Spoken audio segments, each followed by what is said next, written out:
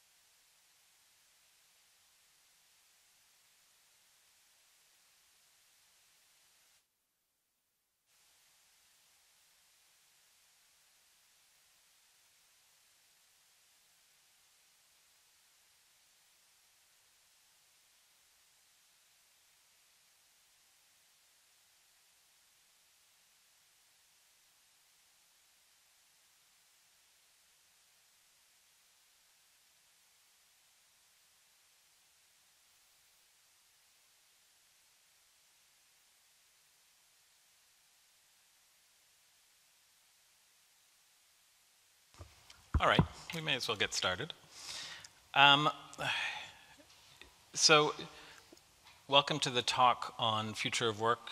Um, it's a it's a session that, that will, mostly, mostly look, look at issues around, around the the future, future. of work and vulnerable populations. Um, I guess uh, one of the I, I sometimes like to know uh, what feelings are. Um, around the room on things. So I guess put up your hand if you think that um, in the future robots will take over your job. One person?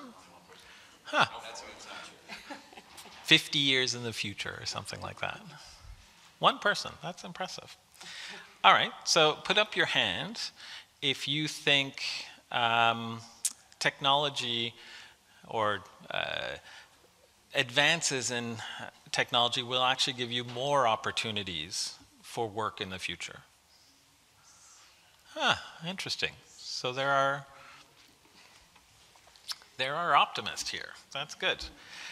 Um, so we won't really talk about what is the the pressing issue of in a lot of the media and amongst policymakers of AI, automation, and, and jobs so much. But it is one of the reasons why um, this topic is quite often front and center. Um, ever since uh, Frey and Osborne in 2015, I think, um, came up with a study that said that 47% of jobs in America were vulnerable to automation. Uh, policymakers, researchers, um, everybody have been quite um, concerned uh, with this uh, topic to the point where you had uh, front page headlines around, you know, a world without work, uh, how technology is disrupting uh, or destroying uh, jobs was an MIT Tech Review um, title. But the reality is we don't really understand very well the relationship between technology and work. It is still something that we are trying to uh, get a better grasp of. There are definitely advances all the time. But if there's an area that I think we're, we're starting to get a better grapple with, it's the whole issue of um, micro work, the gig economy, and some of the types of jobs that uh, that essentially have appeared in the last five years and that you've all heard of. I mean, Uber is the best um, example of this. And um, it, it's kind of interesting because, uh, to a certain extent, it's the first articulation of how, uh, you know, an internet society is creating a lot of new jobs. I mean, some of the people on the panel will tell you a bit more about um, the, the, the amount of jobs this is potentially creating. But Mark, if I remember correctly, it was 10% uh, of Americans have actually uh, been part of a, a, gig economy job, 8%, and 10% in 10% in the UK. Um, but what's important to our panel is also the extent to which these jobs are permeating in the developing world. And we'll have around the table people who actually have done household surveys across Africa, Asia, and Latin America to understand um, the extent to which these types of jobs are playing a role in those places. Um, so that will be a large part of what we'll talk about, is essentially what kind of jobs are showing up in this new internet enabled work environment? What are the opportunities, but also what are the challenges around them? What are the types of uh, labor protections? Uh, what are the types of uh, wages that should be expected in these kinds of situations? But another big part of the panel will be on how can people best prepare for those types of jobs. So how do we build digital skills? How do we build uh, a skills base that ensures that even the vulnerable people can take advantage of these types of opportunities? Um, so we have with us um, Alison Gillwald from, from RIA, um, Carolina Caeiro from LACNIC, uh, Mark Graham from the Fair Work Foundation, Alexia Zucchetti, and I may have massacred that, um, from Fundación Ceibal, and Manuel Hassas from uh, Google. And they will each give us about five to seven minutes on what they're working on and some key findings uh, in this space. And then we'll have an opportunity for uh, including you in the conversation and, and getting some sense of the key questions that uh, you have on these topics and just try to have a more informal conversation on this. So maybe Alison, I'll start with you.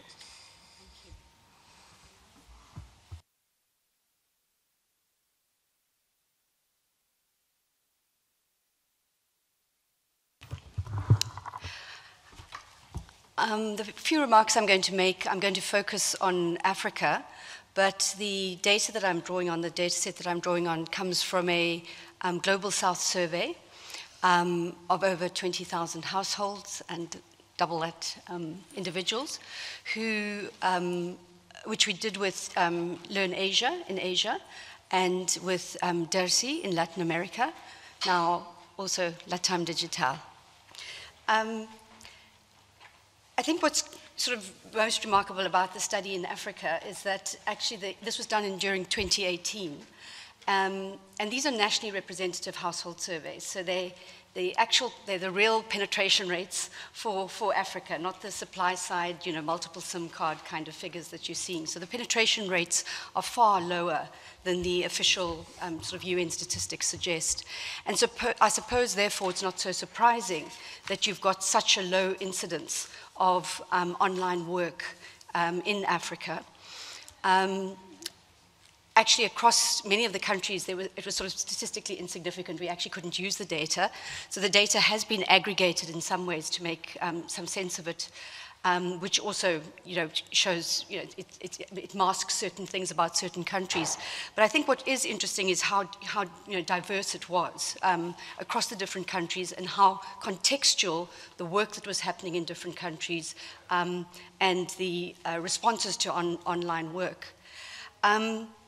So I think, you know, it, there's been a lot of um, hype about um, the potential of online work for, for, for, decent work, that it can address some of the sort of misalignment we have between skills and resources in our economy, um, that it can provide sort of frictionless work and um, can provide people with, you know, mobility and those kinds of things.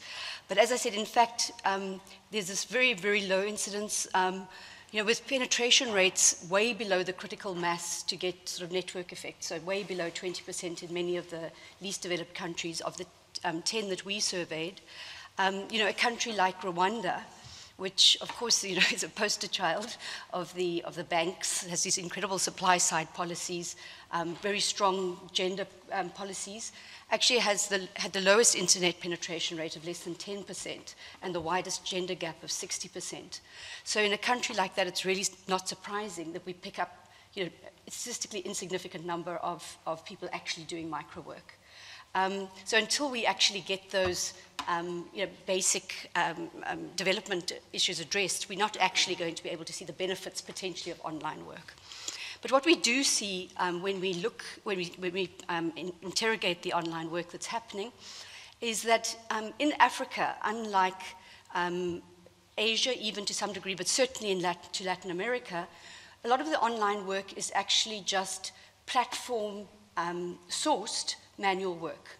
So the large majority of people who are doing online work are doing um, e-hailing, domestic work, um, you know, gardening, and those, and those kinds of things, which is now being sourced online. And uh, certainly Mark will speak about how that is a whole lot better for some people, but it's also a whole lot worse for, for a lot of people. So, I mean, generally what we're seeing across the board is the patterns of exploitation, north-south exploitation, especially with um, LATAM, um, the LATAM survey, the um, DIRSI survey, and um, Europe, for example, you know, Spanish workers in uh, um, in Latin America were paid much less if it, if it was identified, if they could be identified as Latin American workers, they were paid much less than Spanish workers doing the same job in Spain, and those kinds of um, inequalities. And then, of course, the, on the manual side of, of, of work, a, a, lot of the traditional exploitations as well. Um, and of course, there are these problems around quality control and who, do, you know, who does get paid and how they get paid for what they've done. But about 30% of the very small number of people who had actually done online work um, had stopped doing online work. Because, the reason for not continuing online work was because they hadn't been paid. So about 30%, which is significant, had not actually been um, um, paid for, for work before.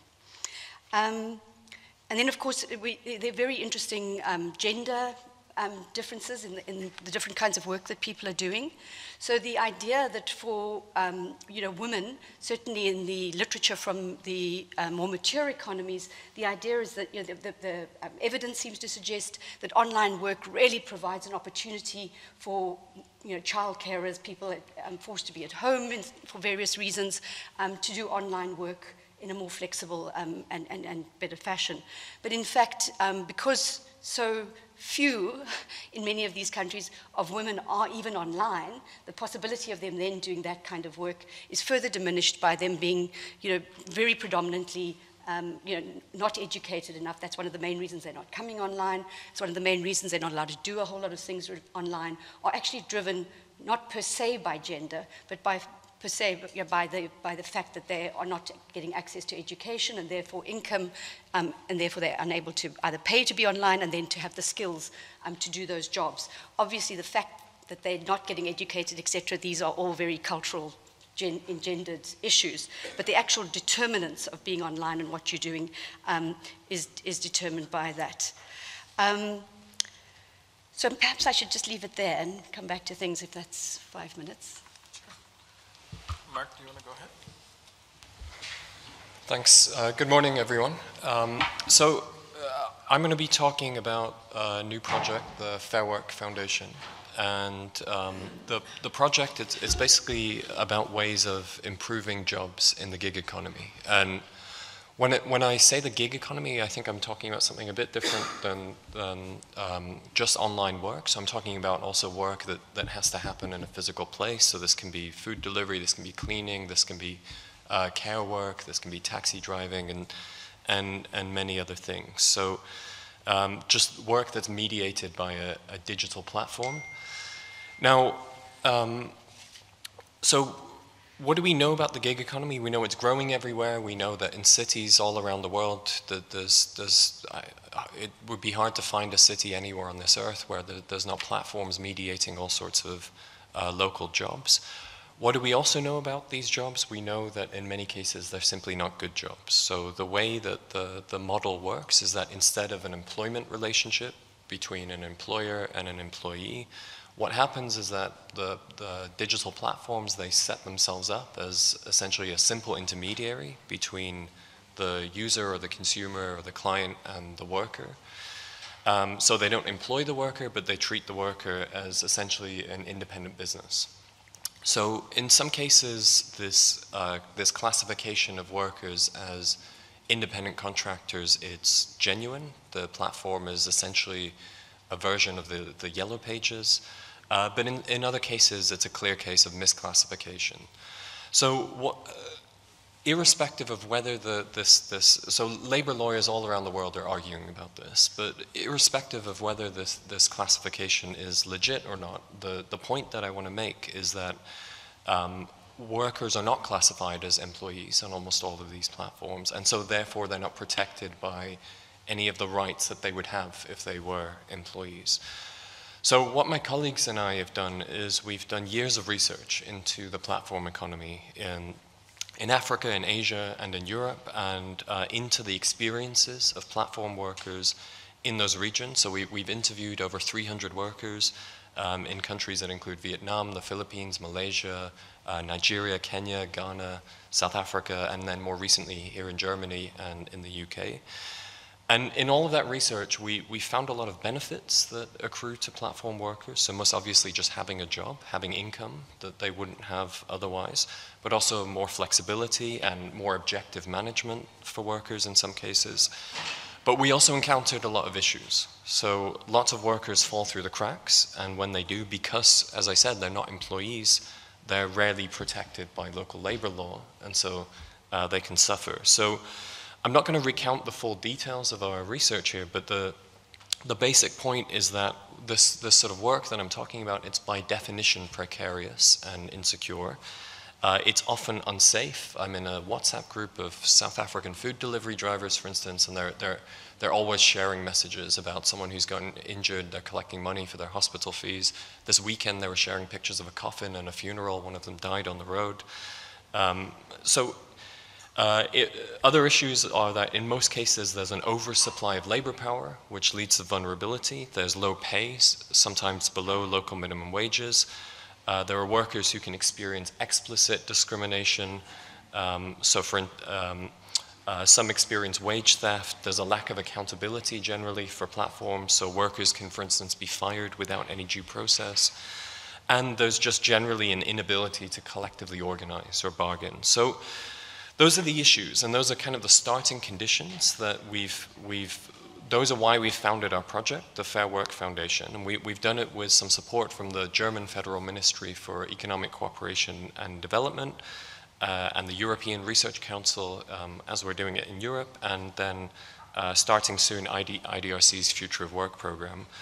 And um, the point of this project then again is, is to kind of sidestep this this discussion about employment status and acknowledge that irrespective of how uh, a worker is classified, the, these platforms, these platform companies, they still have some control over the working conditions of their workers. And if, if they have that control over their working conditions, we can encourage them to improve those conditions. So the basic idea behind the project is we're trying to do four things. So first of all, we co-develop a set of principles, of uh, fair work principles with the people and with the organizations that they impact on. So, primarily gig workers, but also uh, trade unions and platforms. What we then do is we take those principles and we carry out research to evaluate uh, platforms against those principles. And we use that research to give every platform a score, a fair work score. This is a score out of 10 that I'll, I'll explain in more detail in a second. And then we use that score as a pressure point to encourage fair work and discourage unfair work. And we, we've piloted all of this in India um, in collaboration with, with our partners, Triple ITB. uh, and in South Africa with our partners UCT and UWC, uh, and in the beginning RIA, um, who helped us get off the ground. Uh, so we, we piloted with these partners in the first instance, and this year we're, we're expanding it to Germany, uh, to the UK, and then some partners in Chile and Indonesia. So we've developed these five core principles that we think should apply to all platform work. So we're talking about fair pay. This means paying at least a minimum wage in a worker's jurisdiction, fair conditions, so uh, protecting worker health and well-being, fair contracts, so not, not misclassifying workers, um, fair management, this means having an appeals process for disciplinary procedures, and fair representation. So this means um, having a process through which worker voice can be expressed and recognizing collective bodies where they exist. So what we've done is we, we've worked to develop ways of measuring those principles and give each platform a score out of 10. And then, uh, so we, we, we give the platforms these scores. Uh, these scores are all on our website. If you're interested in, in seeing them, the website's just uh, fair.work, uh, easy to remember. And so we give every platform a scorecard, and then we put them all on a league table where we can compare them against one another. So you can see how platform A compares to platform B. And that, so our theory of change there was that slowly over time we might see more platforms uh, feeling pressure to score better than, than one another because of the league table that we're putting out. And we really try to encourage this by, we launched with a bang, we, we put this in a lot of media. Um, we made the scores quite visible. What we didn't really expect is that when we sit down with some of the platforms to gather evidence about their scores, um, one of the questions that often comes to us is, what do we do to get more points? This is what the platforms will say to us. What do we do to score better? And so we've had platforms do things like implement minimum wages where they used to have any, implement living wages, implement safety training for workers, implement a works council in one case, agree to the formation of a trade union in principle. Um, platforms have agreed to all of these things in our conversations in order to score uh, more highly in, in this, these league tables.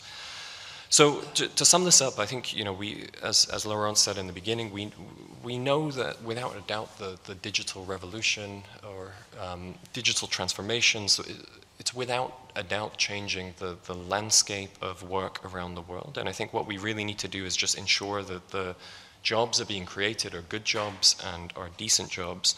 And I think part of how we get there will be using research to, to not just understand platforms and understand how they work, but also using that research to make uh, working conditions in the gig economy more visible in a reproducible way and in a directly comparable way. So I think you, at, at, the end of the day, platforms, they, they work and they, they profit by essentially being weightless and ephemeral organizations. They, they don't own assets, they don't employ workers. But I think that, weight, that weightlessness, it also renders them quite, quite vulnerable to alternatives, to competitors. They're, they're really sensitive to public opinion. They, they, only they only exist when we pay attention to them. They don't uh, exist unless we look at them through our screens. So what my hope is is that this project offers a way of holding platforms a bit more accountable. Platforms they can shape the quality of work. And uh, what we hope to do in this project is play our part to try to get them to acknowledge that and to live up to that responsibility. Thanks. Thanks, Mark. So you've gotten a sense of the, the kind of macro perspectives around online work, the, the gig economy, the platform economy. Um, now we'll hear from Carolina, who will tell us a little bit more about a, a micro case of trying to um, enable online work in Haiti. Wonderful. Um, thank you, Laurent, and good morning, everyone. Uh, so in my case, I represent LACNIC, the Regional Internet Registry for Latin America and the Caribbean. Um, and together with uh, support from IDRC, we have been working on an initiative called IT Goes Global uh, in Haiti. Um, IT was essentially a project that um, sought to connect young Haitian women with online employment opportunities um, and it, instead of a very, very summarized form, uh, we could say that the project uh, sort of developed in three stages. Um, the first thing we did was we mapped uh, job opportunities that program beneficiaries um, could do remotely from Haiti. And then we developed online training courses based on those uh, job profiles that we had identified. Then uh, we selected uh, some 350 uh, beneficiaries and had them complete these, um, online trainings that, that we developed. Um, and lastly, we worked uh, with program graduates um, in exposing them uh, to online talent platforms. Um, to give you a sense of what platforms I'm talking about, I'm, I'm, I'm thinking of uh, platforms such as Freelancer or Guru. Um, and also just sort of generally provided support um, to, to our beneficiaries and everything that had to do with professional development. So uh, mentoring support, um, efforts to help them secure internships and um, additional uh, training opportunities on topics such as uh, entrepreneurship and uh, coding. Um, there are two main lessons that, that we derive from, from this project um, that I think are relevant for the discussion today. Um, first, when, when, we talk about future of work, one of the uh, sort of central topics I think that often comes up is this question of closing uh, skill gaps. So essentially thinking about how we can um, sort of develop or even upgrade digital skills effectively uh, among those uh, local communities that are um, lagging behind. Um, and again, in our case, we selected 350 women uh, from low to middle low income households, and we had them go through these online courses we had developed. Um, and what we saw was that um, in spite of uh, connectivity challenges and even um, uh, limitations to access uh, electricity in the context of Haiti, uh, we ended up having an 86% graduation rate and only a 3% uh, dropout rate in our courses. Um, so we feel the project proved, uh, first of all, that um, upgrading digital skills is possible um, in resource-constrained environments uh, such as Haiti, and also that online learning um, can be uh, an effective mechanism for closing um, skills gaps. Again, even in complex settings such as Haiti, um, and obviously provided that um, uh, that you sort of employ certain strategies that make those trainings uh, more effective. And I'm happy to share some more uh, thoughts um, or pointers as to what those strategies uh, may be during the discussion. Uh, the second big lesson um, from this project has to do with our efforts um, around um, our uh, yeah our efforts to connect women with online work opportunities. So here, while our on online trainings were uh, relatively successful or had good results, the results when exposing women to um, online platform was a, a, lot more modest. Um, first, uh, what we did was, in an effort to sort of mitigate infrastructure um, uh, barriers or challenges, we gave a group of program graduates access uh, to an office space with computers and connectivity. Um, and this group of beneficiaries um, only managed to develop two clients on one of the uh, talent platforms they worked on. Um, and they completed only a handful of online gigs during the life cycle of, of the project um, that, that we conducted. So essentially, here we started off the project um, uh, with this assumption that mitigating infrastructure and skills um, uh, deficits was sufficient to sort of level the, the, the playing field and allow uh, Haitian women to access uh, work online. So essentially make them as competitive as someone maybe based in India, someone maybe based here in Germany. Uh, but we found that there are other factors at play in Haiti, um, and we understand some of these barriers may also be playing um, a role in other countries across uh, the global south. So I'm happy to share some of those findings uh, with you today. Um, so we have grouped these barriers into two subsets. We have uh, first what we call uh, platform barriers, which are somewhat documented already in existing literature. Um, and then we have um, what we have called uh, cultural or sort of preference um, related um, barriers.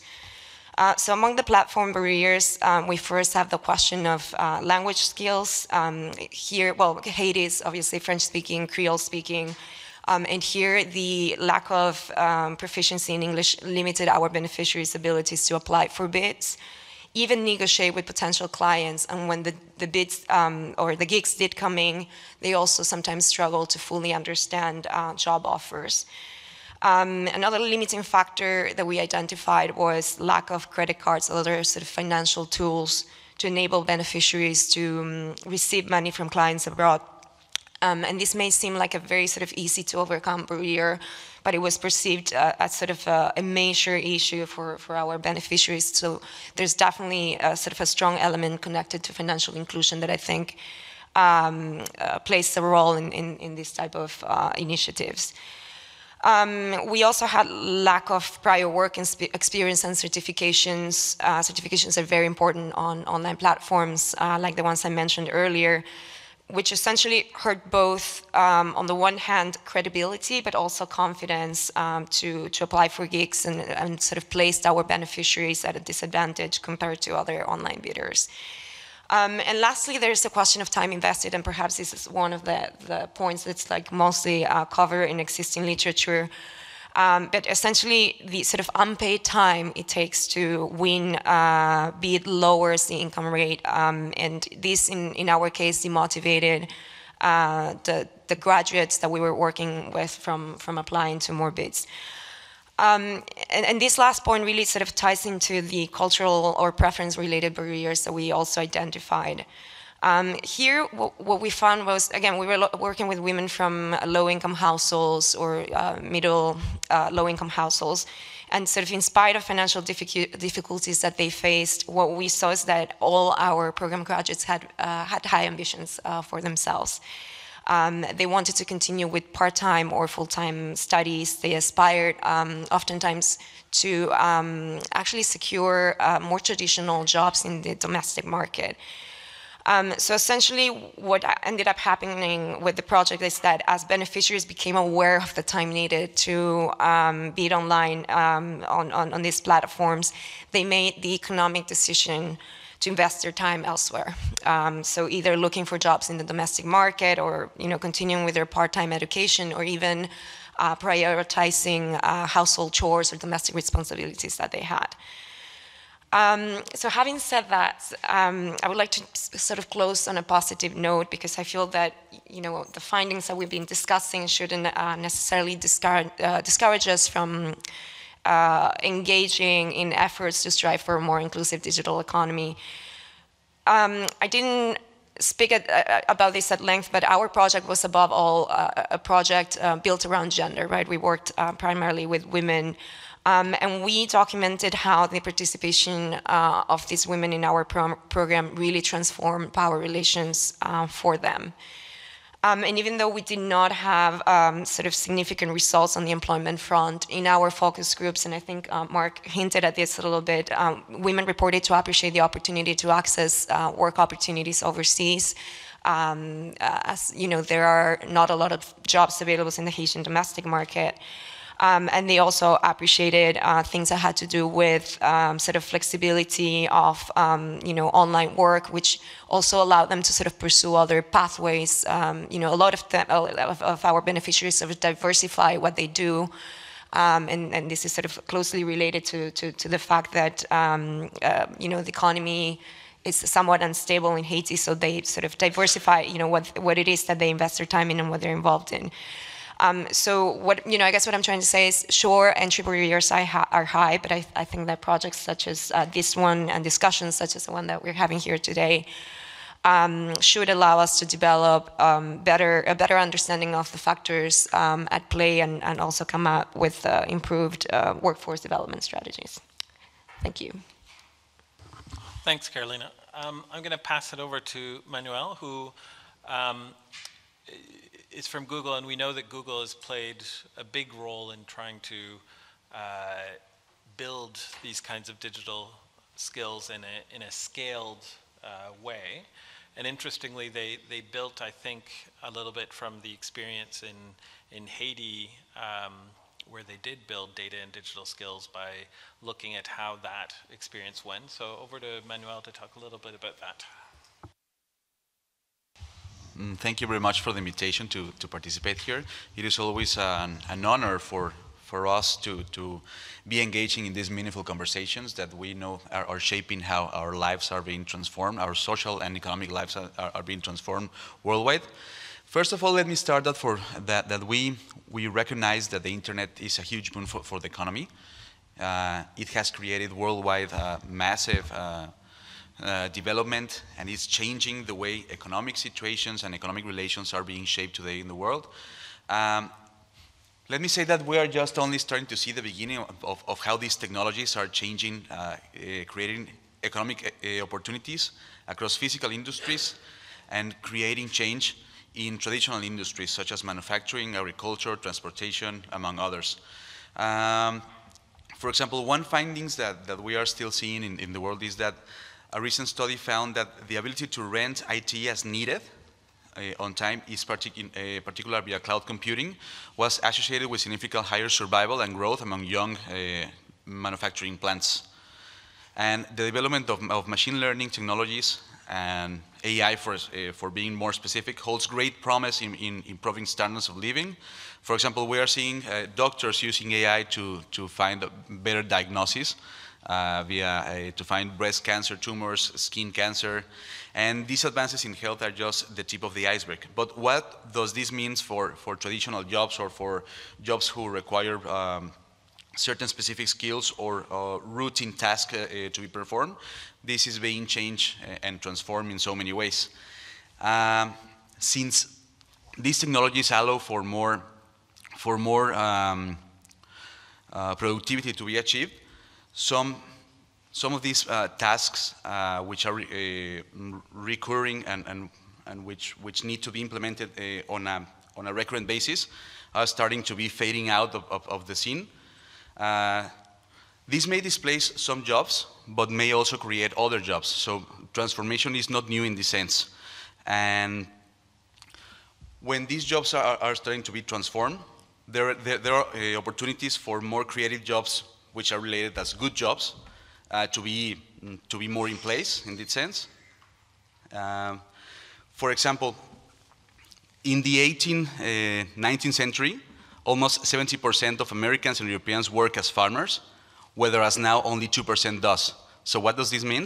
It means that, the, that, that these jobs which, were um, recurring and manually intensive are now being transformed and, and, are now introducing technologies to, to actually, to actually make that uh, less labor intensive and more intellectually uh, intensive. But on the same time, we recognize that the economy isn't working well for everyone, and we recognize that, that this has uh, challenges implicated. And for example, all that my colleagues have, have already mentioned, the gig economy and new platforms are part of, of a growing trend of work done independently. And this raises questions and raises uh, concerns uh, but, but, also gives the need to transcend the false uh, dichotomy that, that the robots and AI uh, uh, technologies are going to steal our works. Work is only being transformed in that sense, but uh, new, new challenges are, are being arise on that because of that. Google thinks that we need to, to focus on, on, on some things, some very four specific things. We need to rethink education. Education and workforce development have lagged changes in technology we need to really include these changes as early on as possible from, from uh, elementary education, secondary education. We know that children in secondary education right now will, 60% uh, of, the, of, of, the children worldwide in, in, secondary education and elementary schools, 80%, uh, will, be, will be working on jobs which right now they don't, don't exist. So there is a, a huge challenge here to integrate uh, non-traditional works and thinking ahead on, on, on how the economy is going to be set for the next uh, 30 years. Uh, we need to also think on, on reducing dependency to work on traditional uh, companies and start fostering more entrepreneurship. Uh, for example, this is something which Google has, has already been focusing on a lot in, in Latin America. There are, um, I don't have uh, aggregated figures, but for example, I can say that in Mexico, Last year, we trained 80,000 people in entrepreneurship, uh, entrepreneurship skills. We have a variety set of programs uh, from uh, called aggregated within one uh, umbrella program called Grow with Google, which uh, tries to aim for digital skills. And we have a set of uh, open courses, free available courses on internet called Garage Digital and Google Primer, which are holistic um, digital economy courses for creating, uh, building skills in, in, in, entrepreneurs. And these are uh, very quick ways on, on how anybody can uh, depend less on traditional companies and depend less on, on, on traditional jobs and actually start building something as, uh, with, with an, an, entrepreneur, an entrepreneurship spirit. Um, we need also to update social programs because tech don't, they doesn't necessarily benefit everyone equally in that sense, and, and we are thinking on how to how to uh, update uh, our uh, job laws and, and how to update uh, norms in, in the countries where, we operate, because um, technology is also is also um, creating some some uh, uh, brackets of low low wage work, and that's that's where we are seeing a, a certain uh, polarization. Companies are benefiting from uh, from acquiring uh, engineers and, and hire people with, with higher skills, but there is a bracket where, where we are not including new people. And for example, something that we have seen in Latin America is that there is a specific lack of, of, of IT maintenance uh, and, and IT uh, within the IT sector. I mean, not programming jobs, but people who can actually solve technical problems and, and solve uh, IT equipment uh, uh, tech issues. Uh, in that sense, we launched in Latin America last year, along with the IDB, the IT certificate program, which aims to train 1 million people, 1 million uh, people uh, from the ages from, of, of uh, 20 to 30 years, specifically in, in tech, tech and, and IT maintenance services, which is something that the current companies are lacking. And, well, other things that we have done in Latin America is we have invested in, in programs for young people between 16 years and 24. Uh, for example, the program that, that Carolina was, was mentioning, uh, th that bracket, that age bracket represents 25% of, of the workforce in, in the Caribbean, in the English-speaking Caribbean. And in that sense, a way to, to include these, these uh, people who are not neither uh, studying, neither working, is you can provide uh, very specific IT, IT uh, ability skills. In that sense, um, data, um, data managing and, and big data analysis is something where we see a, a growing trend. We need people who can be able to analyze uh, big data and, and, and aggregate, and who can actually create some specific skills for them to be able to engage in, in, in entrepreneurship uh, skills and, and in, in gig economy. Um, in two years, we, we achieved to train at least 1,000 and uh, 1,500, I'm sorry, disadvantages uh, risk around those ages from 15 to 24. And imagine what, what this means to, to, a, to a growing economy. We have data that in Latin America, when we manage to get a company or when we manage to get a small or, or medium-based uh, company online, their productivity increases in 15% just in the, in, in the first year that they are connected. And also in the first year, they manage to expand their market for, for export in 35%. So in that sense, what, what we are aiming to do is to create uh, a regional integrated uh, economy and to have people to be able to work with a, with a specific sets, sets of, of skills in an online world and, and, and in a hyper-connected world where job is, is, uh, could be located anywhere and where you can have a demand uh, for workforce coming from other countries and uh, for people in Latin America to be able to have the skills to actually uh, fulfill that, that job demand that, that is being requested. So I should leave it that, that way.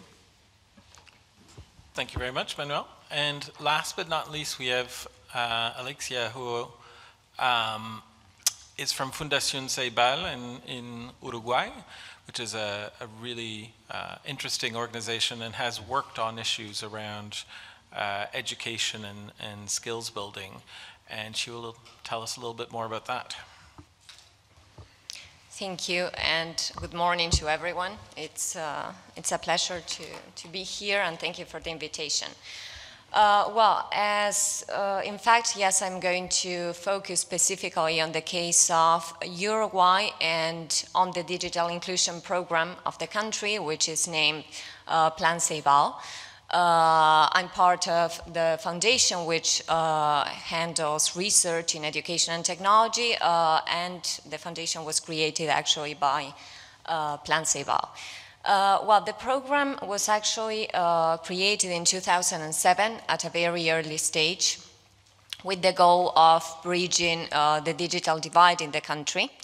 And despite Uruguay was, is one, is, it uh, still is one of the most equal countries of the region, the digital divide um, that the country faced in 2006, one year before the creation of the program, was directly related to the socioeconomic context. Uh, during those, uh, during that first uh, year, actually, uh, the digital divide was um, six, only six percent of the population uh, at the lowest socioeconomic level had access to a device at their home, uh, in relation to a 49% in the highest socioeconomic level after only three years of implementation, uh, those percentages uh, reached uh, 60 and 65% respectively. And uh, the interesting issue about this is that, um, well, Plan Ceibal is part, uh, was the first action in order to favor digital inclusion in the country, but it was also part of a wide uh, interinstitutional strategy that includes many other organizations in the country.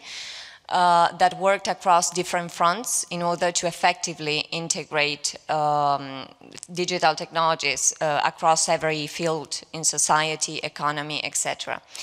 Uh, education was the first area, and uh, and Ceibal, during its uh, nearly 14 years of existence, it has not only focused in initially creating the um, providing access and creating the necessary infrastructure for um, well, for allowing people to connect, students and teachers mainly to connect to the internet, and providing them with devices. But it moved forward and it adapted to the changes that uh, information society has shown in the past uh, few years. And so during this, uh, let's say, second and third phase of development, uh, it focused specifically in digital skills, in, in, in including digital skills for teachers and for students. Uh, it actually, nowadays, it uh, has nearly 700,000 beneficiaries, uh, which include students from preschool to uh, secondary school and teachers across uh, the whole country.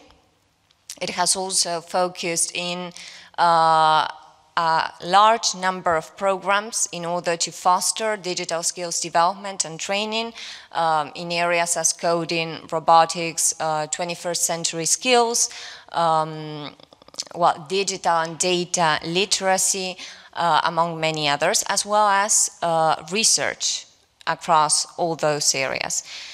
And uh, a program that I would like to, to point out, and that is particularly related to uh, digital skills training and, and the importance of digital education for the future of work, uh, is uh, called uh, Youth to Code.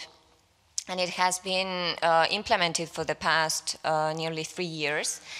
And the program is uh, a clear example of an alternative and informal uh, educational model. It's not part of uh, the formal educational training, but it was created um, along with all the main companies and enterprises working in the IT industry in Uruguay, which is one of the uh, most um, the, the highest, uh, the, well, the, the, let's say, the most competitive industries in the country that show a very good performance uh, during the past few years.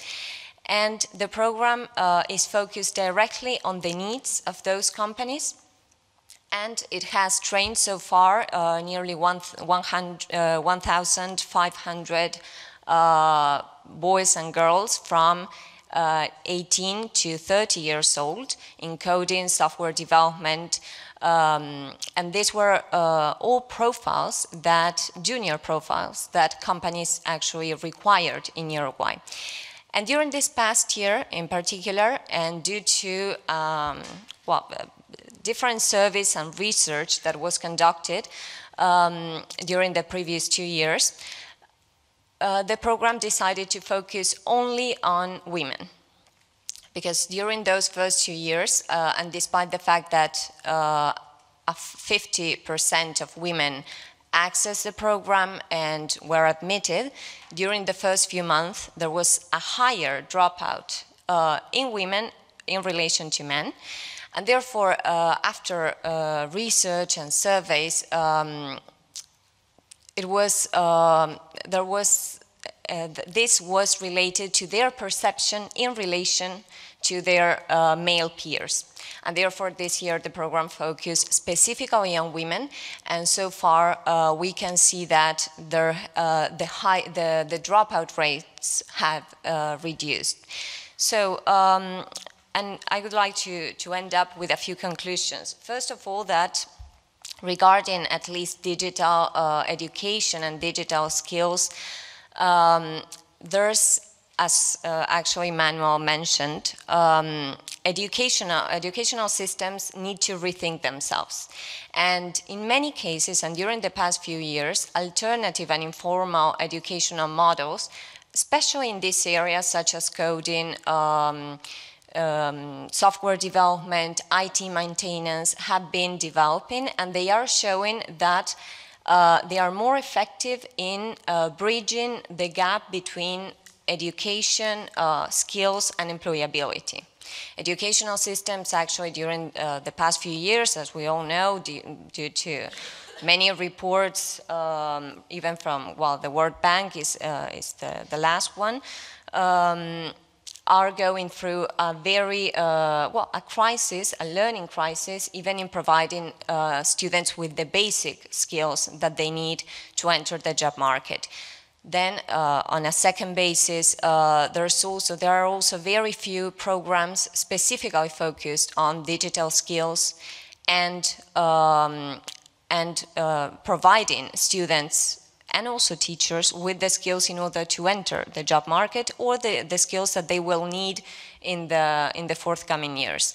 Uh, so those are. Um, a few considerations, and there is also um, the need to uh, have more research about uh, which are the skills, the specific socio-technical skills that the job market will require in the years to come, because otherwise we are, uh, educational systems in general are preparing students without actually knowing which are the, the requirements in the next few years. Thank you. Thank you very much. Now, over to you. Any questions, comments? reactions, absolutely. Uh,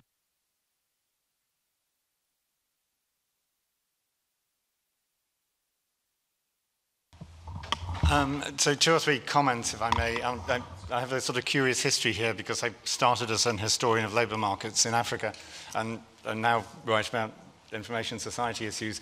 Um, so I kind of bring the two together. I think, um, and I just want to raise three points.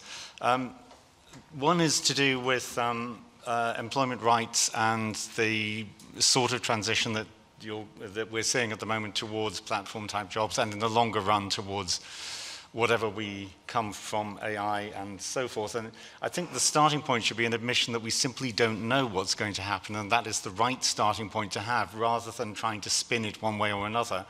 Um, but I do think within that there is a context in which, and I'm very much behind what Mark is trying to do with the Fair Work Foundation, um, uh, which is ultimately mitigating the gig economy. Uh, but I think there's, um, you know, we, we, if you look historically at this, what you're seeing as modern uh, employment relationships, because they're digital and digital is modern, as we kind of see it, um, actually they're very like piecework in the 19th century. Um, and many of the um, problems that arise for workers uh, are similar to the problems that piece workers had in the 19th century. Um, they're certainly a lot uh, weaker in terms of rights than what is in the uh, International uh, Covenant on uh, Economic, Social and Cultural Rights. And it would be quite nice if the rights community at a place like this, uh, uh, like the IGF, also addressed employment rights. My, my second um, point is really to do with digital skills. Um, so, and there's a kind of, I think there's a kind of cognitive disjunction here. Um, so we don't know what will happen with AI and jobs in the long term, um, but we make assumptions that uh, digitalization will change the nature of employment and employment prospects, and that is clearly going to be right, even if we don't know the, the details of it.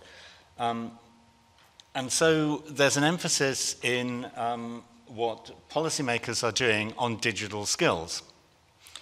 Um, however, if you read much of the literature around, well, uh, from enthusiasts for um, post AI kind of employment scenarios, a lot of that is about, well, of course, what will happen is that people will move towards doing those jobs that machines can't do, that is, the caring and creative professions. Well, firstly, the caring and creative professions don't require digital skills, they require non digital skills, and I know of no uh, government policy for employment in the digital age which is focusing on non digital skills of that kind. Um, and secondly, they are, of course, uh, among the lowest paid occupations that there are. Uh, so that also feeds into a kind of likelihood of, of diminution of employment rights and, and incomes. And I suppose the last point I'd just make is that I mean, it's often said that, that you know, uh, this is a great opportunity for employers and governments to improve the quality of services because of greater efficiency. My sense is that actually what governments in particular will do will bank the efficiency savings in terms of cost minimization and do very little in terms of the quality of jobs.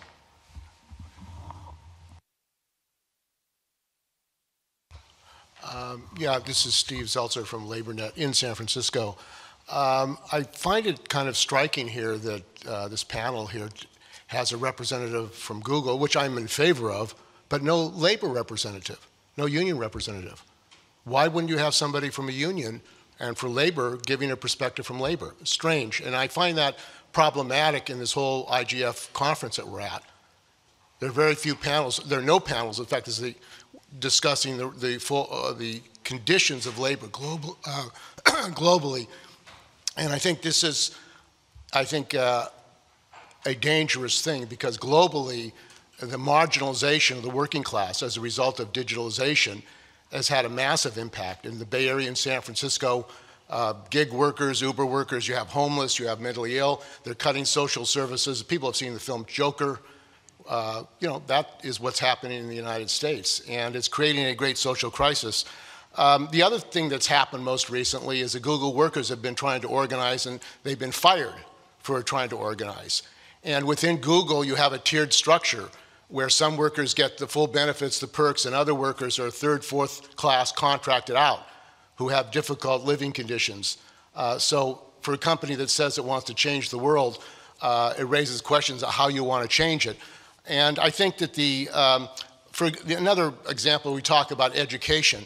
Um, Google Education uh, is supposed to help people, but in fact, it has been used to spy on students, on teachers, and also it's uh, uh, supplanting public education. So, although the program is free, uh, public, uh, public schools, public education is uh, basically being taken over by Google in the United States. Uh, and it's offered as a free program. You can do your documents, you can do your training, your research on, on Google. Who controls it? Who owns it? Who benefits from it? It's the Google Corporation, it's the people who own Google.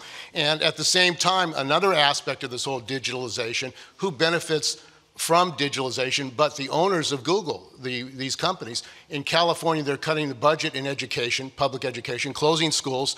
At the same time, Google gets away without paying taxes and shifting money uh, of these billionaires who own Google uh, so that they're not responsible for the social costs uh, of society. So these are basic fundamental questions of the future of labor uh, uh, globally. What is the future of labor under these circumstances uh, that need, I think, to be uh, looked at seriously? Okay, so let's start with those really easy comments. Um, eh, I always like having a historian in the room because uh, that is also my background, and um, I think it's always important in these conversations to to have that point of view. Um, I also think the, the comment about having uh, a labor perspective is extremely important. I think one of the most influential books that I had read, it's almost 10 years ago now, on, on these issues was from Jack Qiu, who uh, wrote the um, Working Class Network Society. Um, and he was one of Manuel Castells' students. And he had already seen in China that what's happening in this digital world is there's a digital underclass being created, and the class system is being uh, uh, recreated in, in the digital world.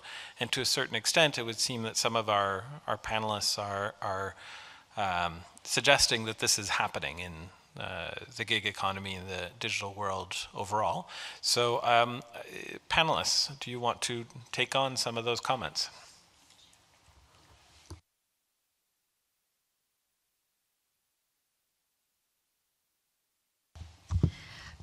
So uh, thank you for those really, really interesting and important questions.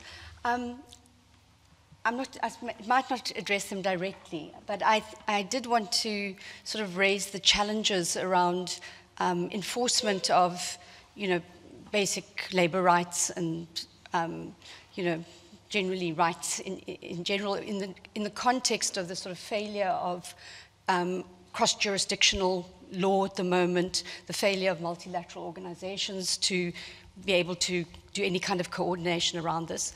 And, you know, the need to look at more formal efforts of mitigation. So, I mean, I think obviously one has to do what one can where one can.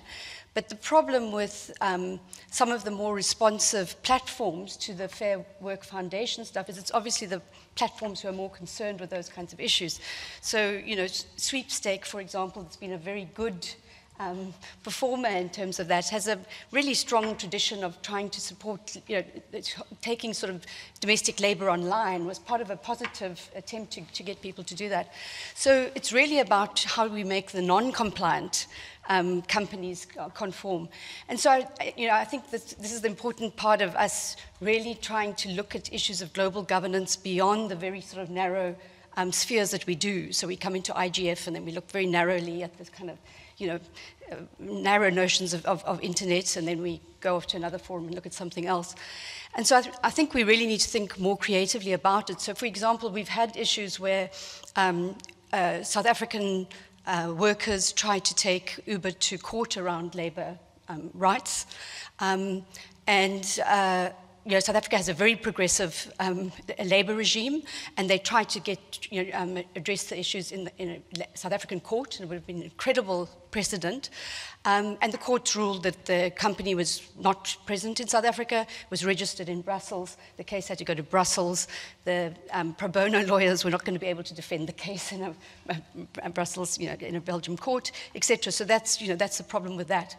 And then, as I said, you know, even, even in, in, in that environment, the distinction between the um, Uber drivers at large Particularly, it seems those that are carrying passengers. So uh, Uber seems to have a particular obligation where there are passengers involved and they provide a whole lot of protections, insurance, and all sorts of things to those drivers. But these delivery drivers, for example, have no protections. They don't have as high a bar to go in, so they're often actually a liability to themselves on the road. But also, of course, you know, to others, they have no, none of the same protections. So there's an enormous inequality in those things. But just re re returning to the jurisdictional issues, is I think because we, you know, the law is going to take a long time to catch up and we're going to have to find these sort of key places where we can get precedent, I think we have to look at um, you know, these multiple forms of global governance that people are using in order to try um, and, and get a sort of global response to some of these uh, global platform um, issues that, that concern us.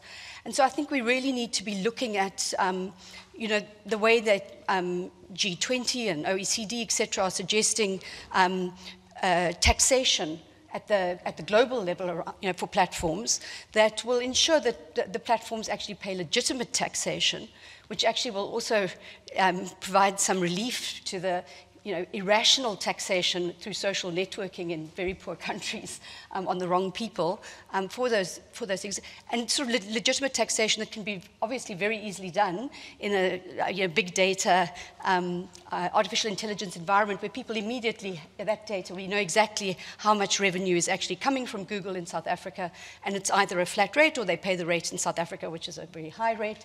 But that's particularly important because you know, if we're talking about the future of work and we're talking about more people coming online, what we're going to see is greater visibility of people online, self-employed and informal people online.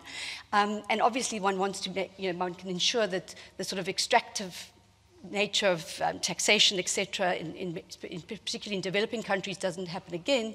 But it does enable um, self-employed people and, of course, people running platforms, but at, who are present at a, at a national level, to, to come online for those tax, taxes to be used in a way that could provide social protection, not necessarily to those direct workers in that platform, but in terms of um, you know, general safety nets, labor safety nets that could be provided that are never going to really be enforceable um, at an individual level, at, you know, at, at, a, at, a, global level, in an individual company, um, but might be, be, able to begin to be a, a basis um, in a digital economy for, um, you know, a general safety net tax that could then be used for, for people. So I think, yeah, I think the, the, the fact that you know, there's visibility it's going to give um, informal sector workers, online workers, and of course these big platform companies is really needs to be thought about in terms of what can be done in a more integrated way.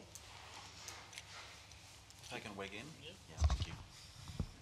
Yeah, actually, uh, very interesting. Um, and, and you actually mentioned it uh, very right.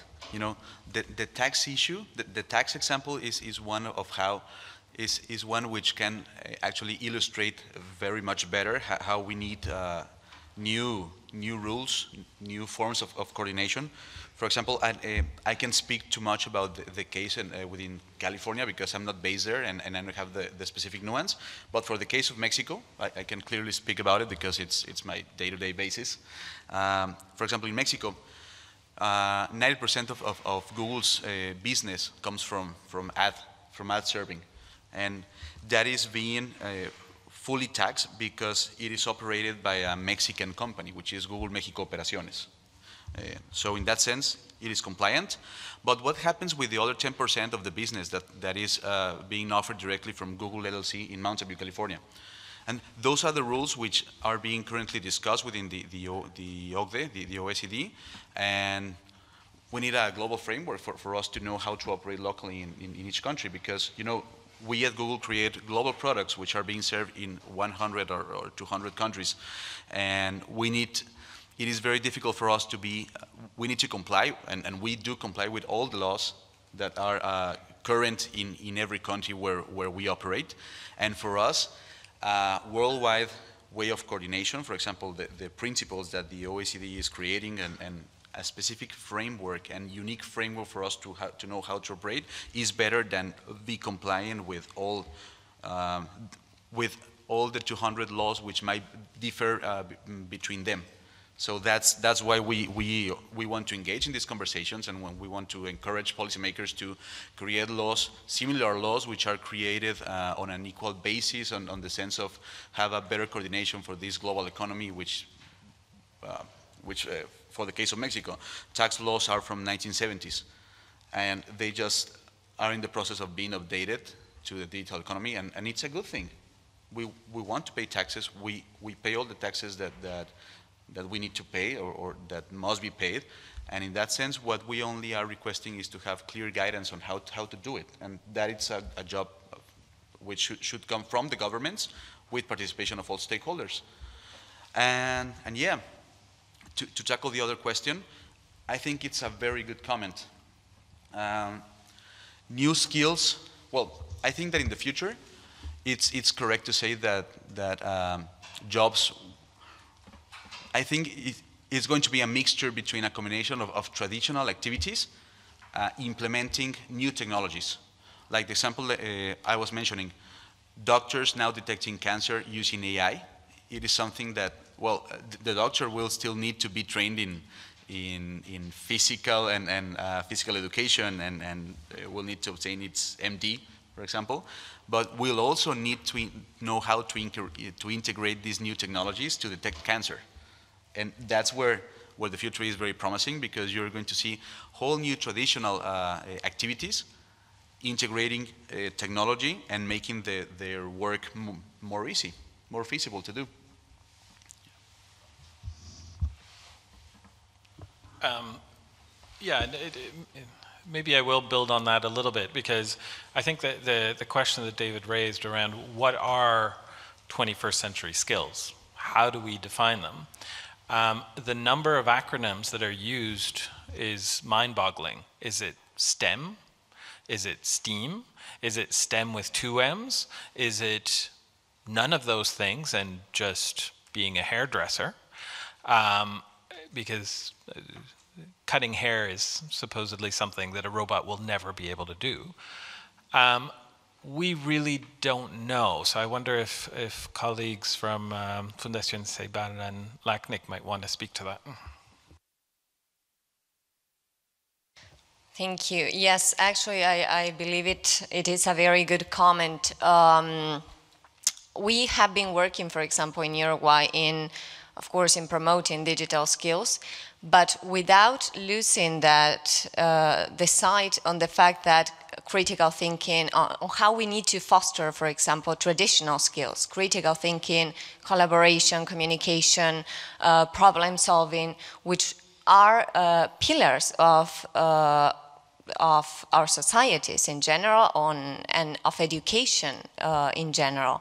So um, I do think that um, in the future and uh, the jobs of the future will require a combination of both. Uh, of both types of skills, there has been quite an attention in the in the past few years from policymakers, from IT companies, and many others uh, on digital skills development. But, uh, and despite there are many uh, relevant frameworks from, for example, the, the OECD has been, was one of the first uh, organizations to work in this, European Commission as well, with uh, lately uh, a coalition, the Digital Skills and Job Coalition and others. Uh, there are there is still a lack of research in the area and there's, there are, there's still the need to map the skills uh, to test the skills and to measure them, to create indicators, metrics, and others. And, and I think that, uh, well, at, in research in the area, we have been trying to work across that because that uh, is a necessary pillar in order to be able to speak about the future of work in the coming years and, and the role that digital education can play uh, in it. Um, yeah, well, I also wanted to tie this question uh, to, to, this idea that uh, Laurent brought up about creating, you know, this digital underclass. You know, when you know, perhaps you get that sense when we tell you we're, we're um, you know, looking to, to connect Haitian women with micro work opportunities. Um, and this is, uh, you know, an aspect that we struggle quite a bit with um, our project and, and, and that we, um, you know, sought to, you know, explore. Um, and I think it's very important for programs also to think about upward mobility. Um, and, and, this goes both for, you know, projects, you know, perhaps of sort of more um, limited uh, scope like um, our pilot initiative and, and, perhaps, you know, something that, you know, goes to um, uh, governments or even private sector when they're uh, planning um, uh, workforce development uh, strategies. Um, and here the idea, something we did with our program graduates was, um, you know, we saw the micro work as sort of a stepping stone for them to start considering careers in technology. And, um, you know, I spoke about how we work to sort of expose them to online platforms, but we complemented actually um, all, all that work with um, mentoring, um, with um, uh, sort of exposure to sort of uh, additional trainings that would allow them to take the next step and say if one of them, I don't know, took an interest in, after doing this sort of basic uh, training, took an interest in, in coding and programming, they could, you know, pursue and see a career path in technology. So I think having an eye um, on, on that and on, on upward mobility again and um, and, and uh, other opportunities that lie in the digital economy is also important. Again, going back to the question of thinking of marginalized uh, communities and you know what opportunities we can bring to them.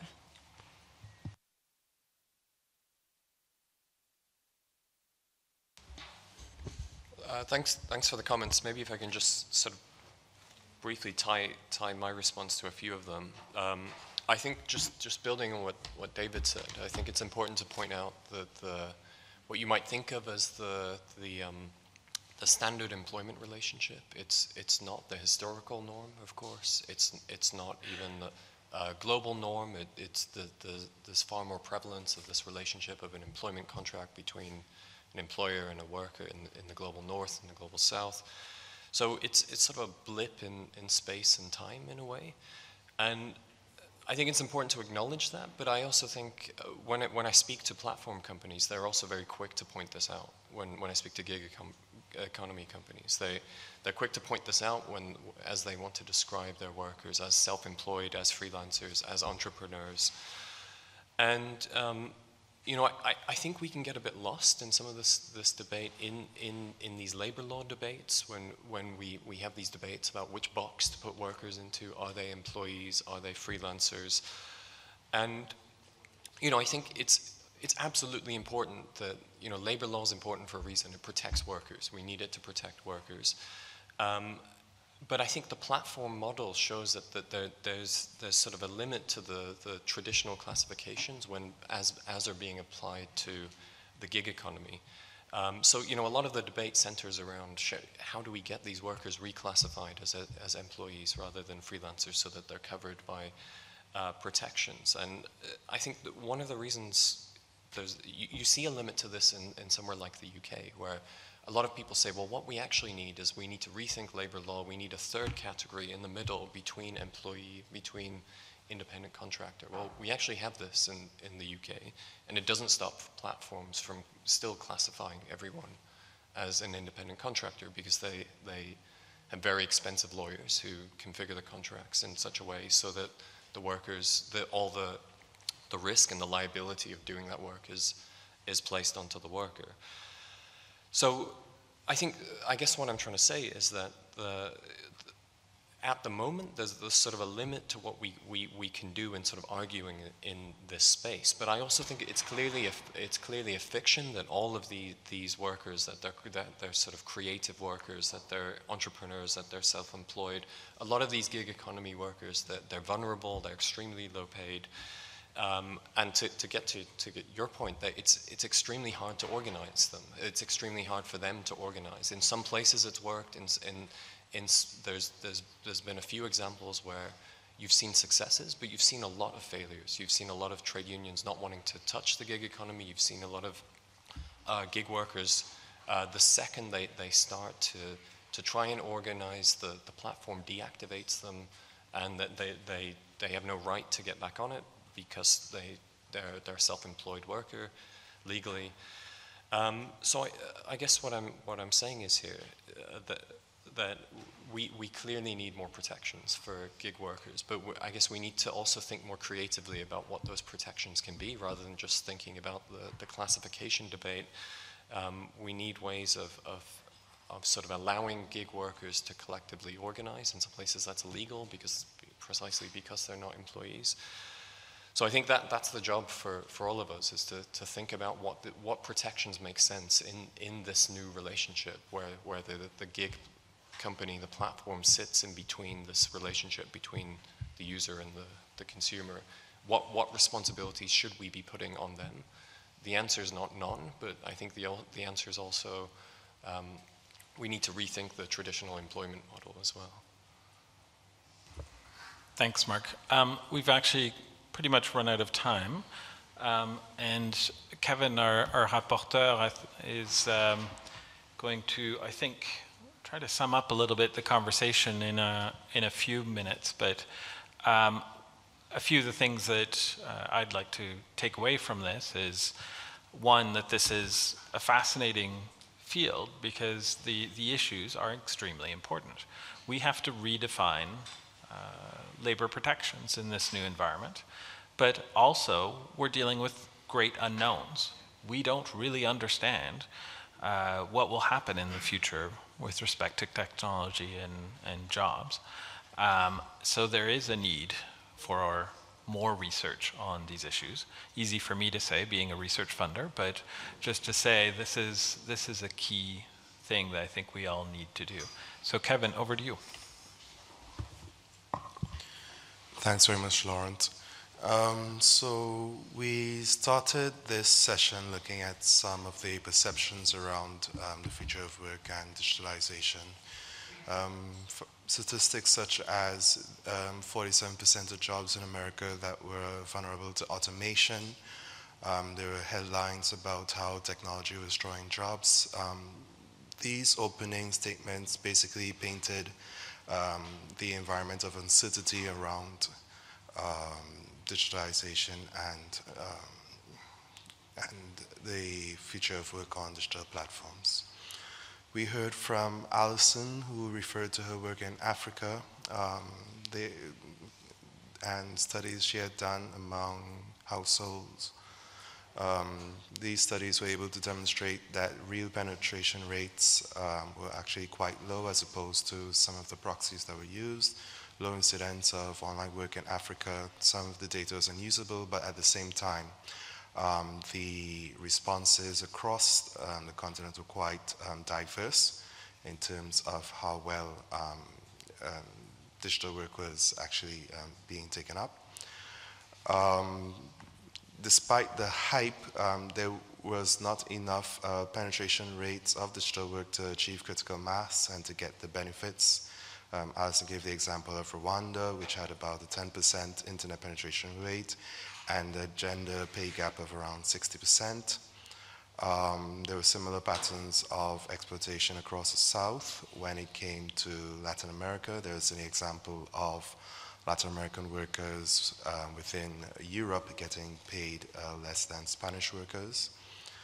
Um, there was also um, statements about um, gender differences, um, especially where literature points to a more mature economy, suggesting that online work provides opportunity um, for women to also have childcare and have employment, but um, there are other conditions to, to women um, accessing online work, including um, access to education, which tended to be low, therefore, and income levels, which are determinants for them being online.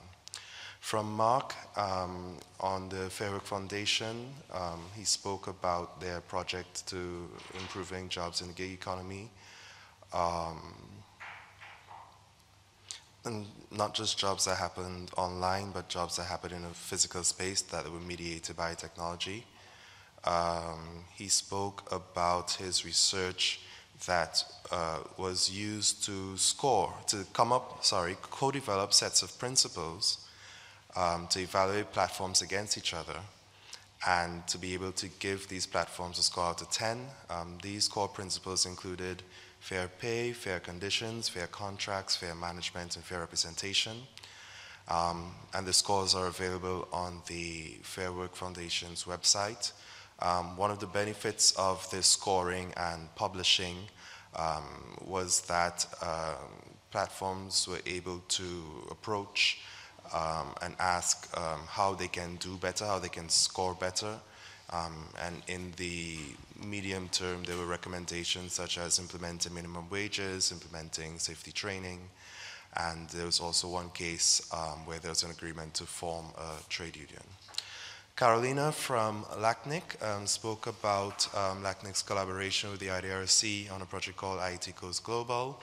Um, she spoke about the three phases of this project. Um, firstly, being the mapping of job opportunities and beneficiaries, also um, the creation of courses that were tailored uh, to the beneficiaries based on the profiles that were developed, and then um, the last component, which was working with program graduates to expose them to platforms and give them general support for professional development. Carolina outlined um, two main issues um, when speaking about future of work and closing skills gaps. Um, in the case of this Haiti project, um, many of the 350 women um, that were beneficiaries came from low to middle income households, and they overcame a number of challenges, including connectivity. Um, but despite all of that, um, there was an 86% graduation rate among those cohorts and a 3% dropout rate um, demonstrating that upgrading digital skills is possible um, despite constraints, and um, women were more than willing to explore and exploit um, online opportunities. Carolina spoke about entry barriers on two fronts. Um, platform barriers, which dealt with um, practical considerations such as lack of language skills, the ability to understand contracts, the ability to have um, financial instruments such as credit cards or accounts to receive money abroad, um, the lack of certifications and work experience, which hurts credibility and confidence to apply for gig jobs compared to other online competitors. And Carolina also touched on some of the cultural barriers uh, to these young women accessing jobs, Um, but despite the cultural barriers and these um, platform barriers or the practical limitations, um, the project proved to generally uh, engender a sense of inspiration for the women. They diversified their opportunities. They sought to also continue studying and uh, use their training for, for other um, types of endeavors. Manuel? Right. So, getting to the meat of it. um, let's see. So, from Manuel and from other interventions, one of the key points that was raised is the need to reformulate how we look at education. Um, the for the most part, um, we have scenarios where education systems are not appropriate in training people for jobs that do not exist. They're not appropriate in understanding um, the, the evolving profile of needs, and this continues to be an ongoing concern. Of course, there are many other attempts at addressing this. Um, this is one of the points that Alexia from Plan Ceibal pointed out, that Plan Ceibal moved on from just uh, basic uh, digital divide um, matching technology with persons to an active um, research uh, initiative to see how to change the face of, um, of employment um, within the context of Uruguay.